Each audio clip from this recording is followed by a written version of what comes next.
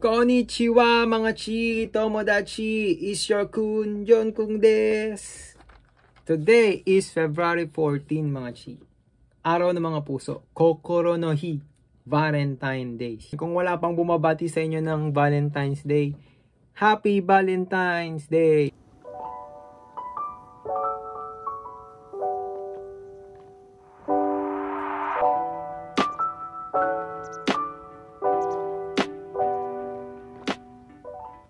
Kamusta mga boys dyan sa Pinas? Nabigay nyo na ba yung flowers and chocolates sa mga crush nyo? At sa mga nililigawan nyo mga chi? Ilang oras na lang matatapos na yung Valentine's. Lakasan mo na yung loob mo, huwag ka nang mahiya. Ibigay mo na yan.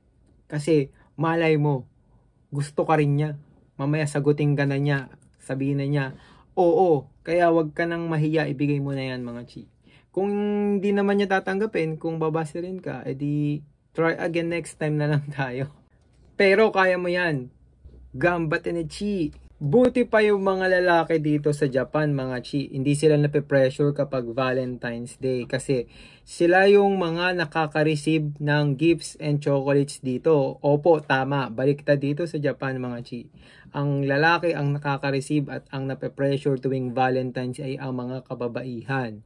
Sila yung mga nagpe-prepare, nag-effort, bumibili ng mga gifts, chocolates, uh, regalo para sa mga lalaking gusto nila, crush nila, or family members nila, mga kaibigan din nila. Kaya pag punta mo dito ng first time sa Japan, mga chi, tapos February 14, yan, season ng Valentine's, maninibago ka talaga. Kasi makikita mo sa mga stores, mga gift shops, mga babae, nagpe-prepare sila.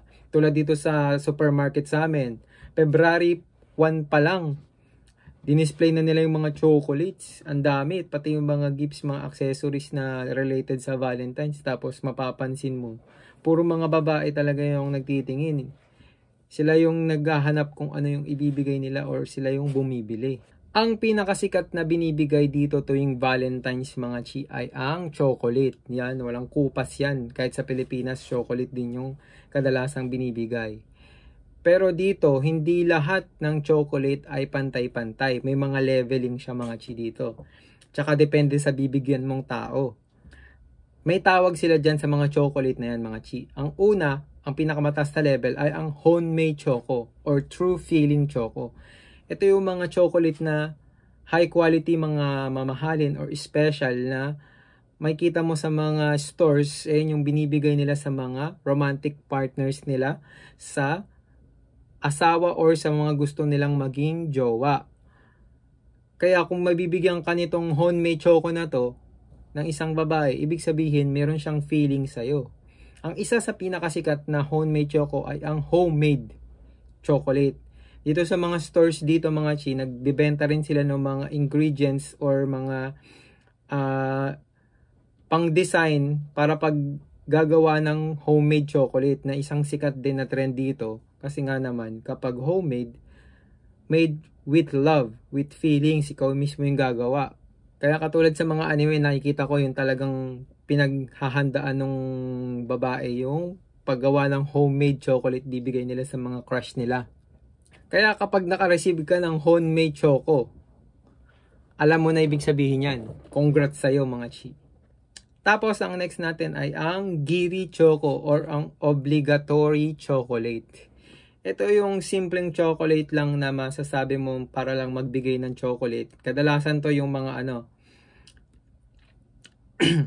kadalasan to yung mga may homemade choco na dala, tapos makikita nila yung crush nila may kasamang iba or binigyan ng iba, kukuha na lang sila ng chocolate tapos sasabihin nila, obligatory chocolate, giri choco na lang yan. Katulad nakikita ko sa mga anime or sa J-drama. Ayan yung mga chi. Tapos ang isa pang type ng choco ay ang Tomo Choco.